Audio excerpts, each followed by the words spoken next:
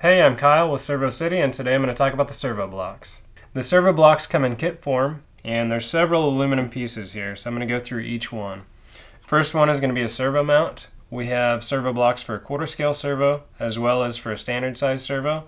So you're going to drop the servo in and attach it with four screws, fasten that down, and then you're going to notice the four holes out to the side on this one. Um, it's going to align with the channel pattern if you ever want to run this on a piece of channel, but uh, in this case it's going to be used for the quad hub mounts that go on the side of the servo block assembly.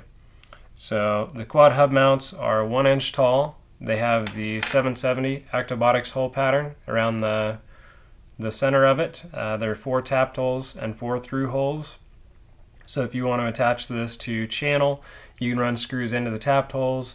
If you want to attach it to a, a part that has tapped holes, you can run screws from the backside into those tapped holes. There's plenty of clearance. Uh, that's why it's dished out on the backside and 125 thick instead of a full quarter inch. So we have the quad hub mounts and then the top of it is going to be a bearing mount. The bearing mount ties the two quad hub mounts together and it also holds the shaft that goes on the servo. So you've got a servo shaft that is broached. This part's made out of 7075 aluminum, so it's really nice and strong, and it's going to fit down on the servo spline. And so as the servo rotates, it rotates the shaft. The, uh, the bearing is going to hold the shaft in place and basically take out any side loading that gets, um, gets put on the shaft so it's not transferred into the servo. If you're looking at the servo blocks on our website, the first thing you'll notice is there are actually six different styles available. Um, we have the standard size servo blocks, and we have these in a hub shaft and a plain shaft version. So the plain shaft version just has a half inch shaft protruding out of the bearing, so you can put a, a half inch clamping hub on that to fasten other Actobotics parts to. Or we have the hub shaft version. And the hub shaft version has the 770 bolt pattern already machined into the top. They're all tapped holes so you can fasten a piece of channel or whatever you want to the top of that. The other thing that's nice about the hub shaft version is it has a 1 inch OD. So if you want to use a 1 inch clamping hub around that and tighten the, down the pinch bolt and use the 1.5 inch hub pattern on the 1 inch clamping hub, you could do that. Now these two versions come in both a 24 and a 25 tooth spline. Hitec typically uses a 24 tooth spline on, for example, a 485 or a 645 MG servo. If you go with the new brushless servo from Hitec or one of the new D series, it's going to be a 25 tooth spline. So make sure you get the right servo block to put your servo into. The other two styles of servo blocks are going to be the quarter scale servo blocks.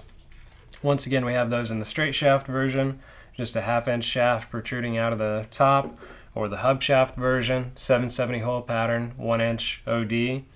Um, these are going to be for the quarter scale size servos, so like a HS 785 HB or a 755 MG servo made by Hitec. Those are going to slide right in and bolt down. So why would you want to use a servo block? Well, the biggest thing on a servo block is going to be the fact that it takes out any of the radial load that gets transferred into the servo. You've got a large half inch bearing out here that's supporting the shaft so you can put a large load on this shaft without worrying about uh, adding friction inside of the servo or having little tiny bearings or bushings taking that type of load. A servo has a tiny little output spline and it's really not intended to take a radial load so with the servo block you can load it up and it's going to be able to rotate it no problem. Uh, the other thing that's nice about it uh, is going to be mounting. So you've got tons of mounting positions. Um, this is 1.32 inch in overall width on the standard size. So you could just slide it right down in a piece of channel. You can use the 770 pattern on the side and run some screws in and bolt it in quickly. Um, and you can rotate it, you know, any position you want inside of the channel. It's going to fit about any way. There are tons of different mounting options available, which we're going to get into in some of the assemblies. Um, you know, if, if you wanted to mount it straight on the top of a piece of channel, what I like doing is actually replacing the sides. So take out the quad hub mounts and then run it, run one inch standoffs on it in place of those sides.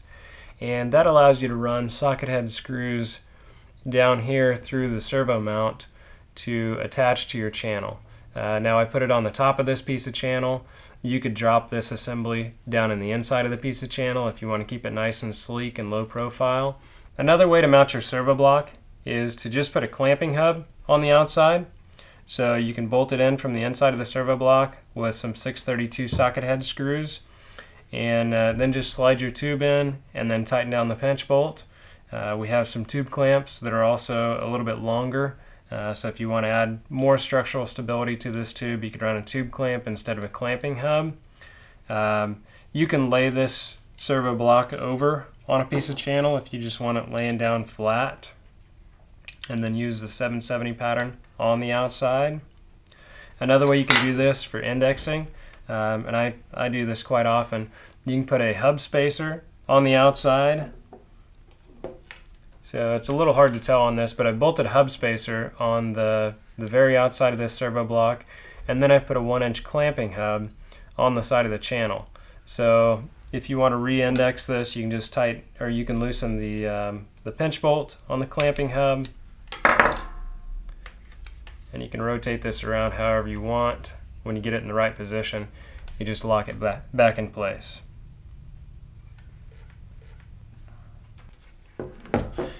Servo blocks get used in a lot of assemblies. They get pretty intricate. And uh, so we've just brought some in to show you different ways you can attach them. You know, if you want to build a, a multi-axis rotational assembly, you know, maybe for animatronics or something like that, then uh, you can bolt them together really easily. And on these, in order to, uh, to allow clearance for these to rotate around, I put a hub spacer you know, in between the, the first one and the second one, and then also between the second and third. That way you have enough clearance for the thing to rotate around without your servos touching one another. Um, here's one with the standard size servos, and in this case I've used the straight shaft version. That way I can index it by using the pinch bolt, um, and then I just put a little gripper on the outside. So this thing's a, a really solid assembly. You know, it's, it's not going to flex if you put a lot of weight on it or anything like that. It's just very, very solid. So there's a quick rundown on our servo blocks and why you would use them and different ways that you can attach them to Actobotics parts and to one another. Uh, if you have any other questions, feel free to email tech at servocity.com and thank you for watching.